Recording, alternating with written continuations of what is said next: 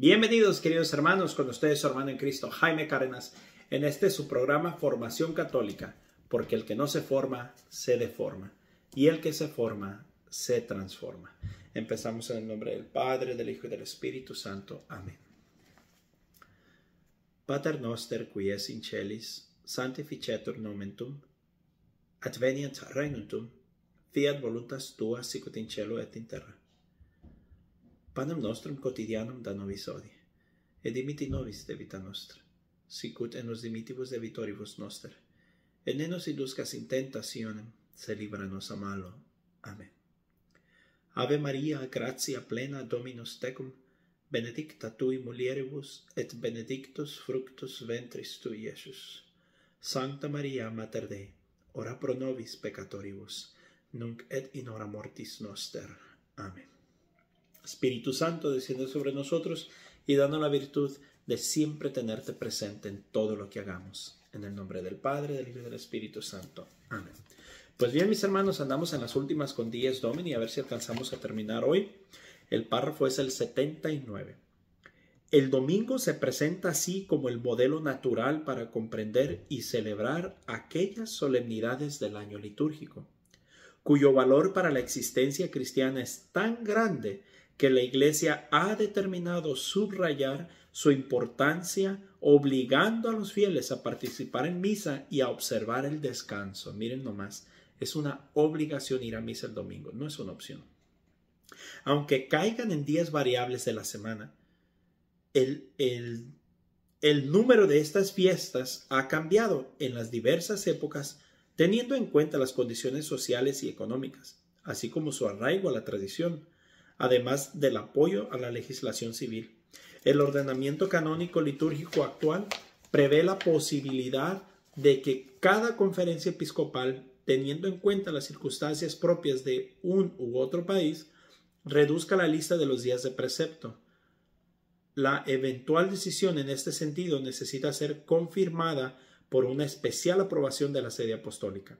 Y en este caso, la celebración de un, de un misterio del Señor, como la Epifanía, la Ascensión o la solemnidad de Santísimo Cuerpo y Sangre de Jesucristo, debe trasladarse el domingo, según las normas litúrgicas, para que los fieles no se vean privados de la meditación del misterio.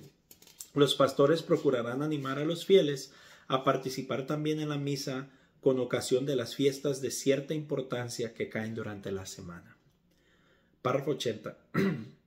Una consideración pastoral específica se ha de tener ante las frecuentes situaciones en las que tradiciones populares y culturales típicas de un ambiente corren el riesgo de invadir la celebración de los domingos y de otras fiestas litúrgicas, mezclando con el espíritu de la auténtica fe cristiana elementos que son ajenos o que podrían desfigurarla. Por ejemplo, el Día de los Muertos en México eh, puede desfigurar bastante la fe. Eh, el 31 de diciembre, de octubre en Estados Unidos, el día del Halloween. En estos casos conviene clarificarlo con la catequesis y oportunas intervenciones pastorales, que es el problema, lo que nos está faltando en, nuestros, en nuestra iglesia ahora, rechazando todo lo que es inconciliable con el Evangelio de Cristo. Sin embargo, es necesario recordar que a menudo estas tradiciones, y esto es válido análogamente para las nuevas propuestas culturales de la sociedad civil, tienen valores que se adecúan sin dificultad a las exigencias de la fe. Es deber de los pastores actuar con discernimiento para salvar los valores presentes en la cultura de un determinado contexto social y sobre todo en la religiosidad popular, de modo que la celebración litúrgica, principalmente la de los domingos y fiestas, no sea perjudicada, sin que, sino que más bien sea potenciada. Conclusión, párrafo 81. Grande es ciertamente la riqueza espiritual y pastoral del domingo, tal como la tradición nos la ha transmitido. El domingo, considerando globalmente sus significados y sus implicaciones, es como una síntesis de la vida cristiana y una condición para vivirlo bien. Se comprende que, pues, porque la observancia del día del Señor signifique tanto para la Iglesia y sea una verdadera y precisa obligación dentro de la disciplina eclesial. Sin embargo, esta observancia antes que un precepto, debe sentirse como una exigencia escrita profundamente en la existencia cristiana. Es de importancia capital que cada fiel esté convencido de que no puede vivir su fe con la participación plena en la vida de la comunidad cristiana. Sin tomar parte regularmente en la Asamblea Eucarística Dominical. Si en la Eucaristía se realiza la plenitud del culto que los hombres deben a Dios y que no se puede comparar con ninguna otra experiencia religiosa, esto se manifiesta con eficacia particular precisamente en la reunión dominical de toda la comunidad, obediente a la voz del resucitado que la convoca, para darle la luz de su palabra y el alimento de su cuerpo como fuente sacramental perenne de la redención. La gracia que emana de esta fuente renueva a los hombres la vida y la historia. Párrafo 82. Con esta firme convicción de fe, acompañada por la conciencia del patrimonio de valores, incluso humanos, insertados en la práctica dominical, es como los cristianos de hoy deben afrontar la atracción de una cultura que ha conquistado favorablemente las exigencias de descanso y de tiempo libre, pero que a menudo las vive superficialmente y a veces seducidas por formas de diversión que son moralmente discutibles como la gente que dice es viernes y el cuerpo lo sabe, a distracciones superficiales. O el deporte, a la gente se le van los fines de semana enteros viendo uno tras otro juego. El cristiano se siente en cierto modo solidario con los otros hombres en gozar el día del reposo semanal, pero al mismo tiempo tiene viva conciencia de la novedad y la originalidad del domingo, día en el que está llamado a celebrar la salvación suya y de toda la humanidad. Si el domingo es día de alegría y de descanso, esto le viene precisamente por el hecho de que es el día del Señor, el día del Señor resucitado. Párrafo 83. Descubierto y vivido así, el domingo es como el alma de los otros días. Y en este sentido se puede recordar la reflexión de Orígenes, según el cual el cristiano perfecto está siempre en el día del Señor celebra siempre el domingo. El domingo es una auténtica escuela, un itinerario permanente de pedagogía eclesial, pedagogía insustituible, especialmente en las condiciones de la sociedad actual, marcada cada vez más fuertemente por la fragmentación, el pluralismo cultural, que pone continuamente a prueba la fidelidad de los cristianos ante las exigencias específicas de su fe y el sectarismo, diría yo. En muchas partes del mundo se perfila la condición de un cristianismo de la diáspora, es decir, probado por una situación de dispersión, en la cual los discípulos de Cristo no logran mantener fácilmente los contactos entre sí, ni son ayudados por estructuras y tradiciones propias de la cultura cristiana. En este contexto problemático, la posibilidad de encontrarse el domingo con todos los hermanos en la fe, intercambiando los dones de la fraternidad, es una ayuda irreconciliable.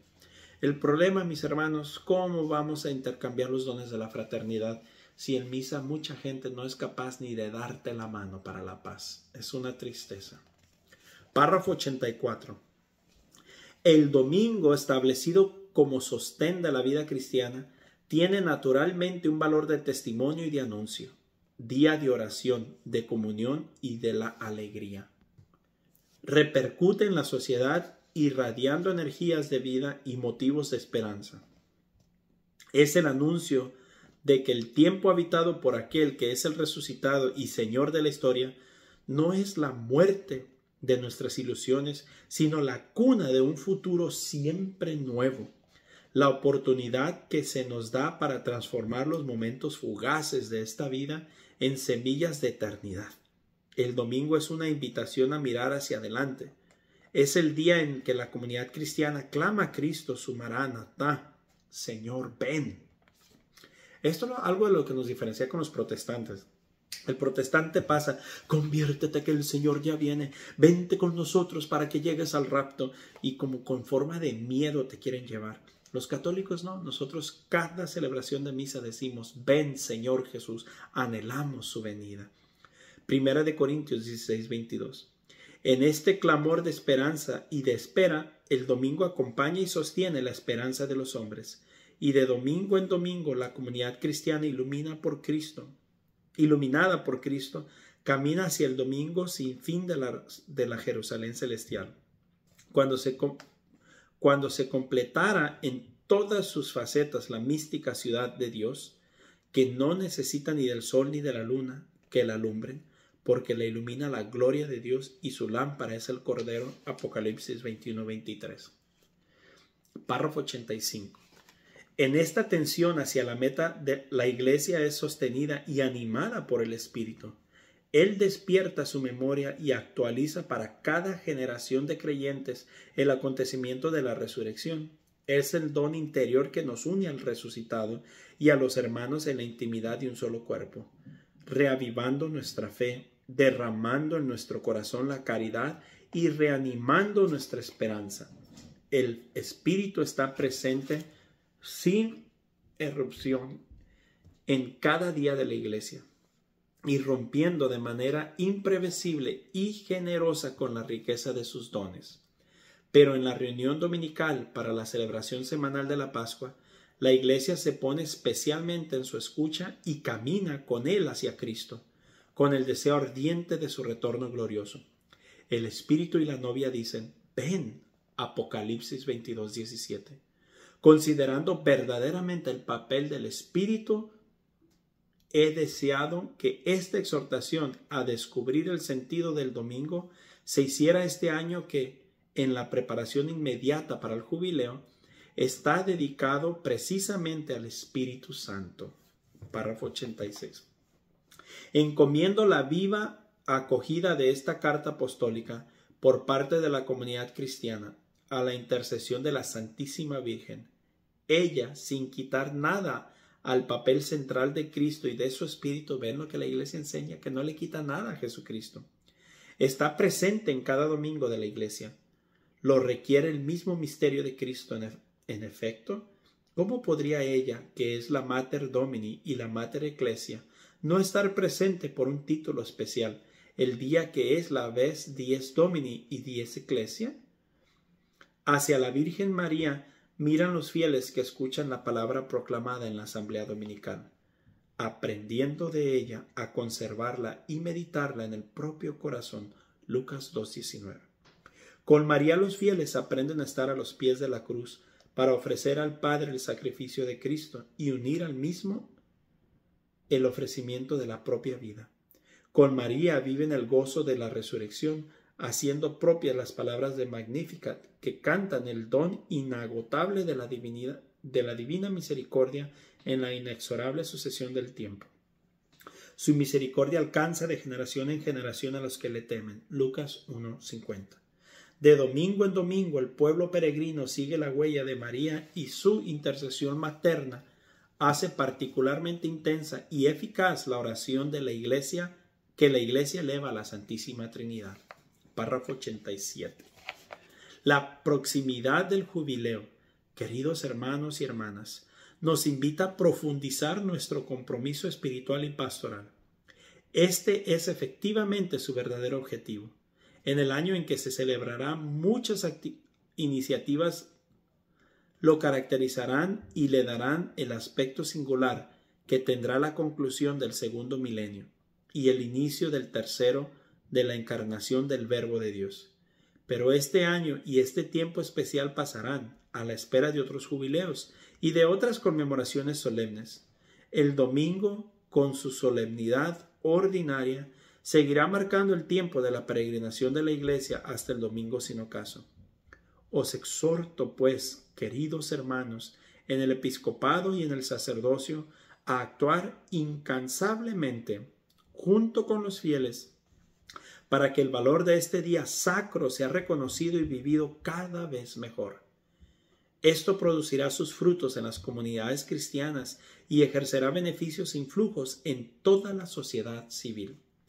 Que los hombres y las mujeres del tercer milenio, encontrándose con la Iglesia, que cada domingo celebra gozosamente el misterio del que fluye toda su vida, puedan encontrar también al mismo Cristo resucitado, y que sus discípulos renovándose constantemente en el memorial semanal de la Pascua, sean anunciadores cada vez más creíbles del Evangelio y constructores activos de la, civilización del amor.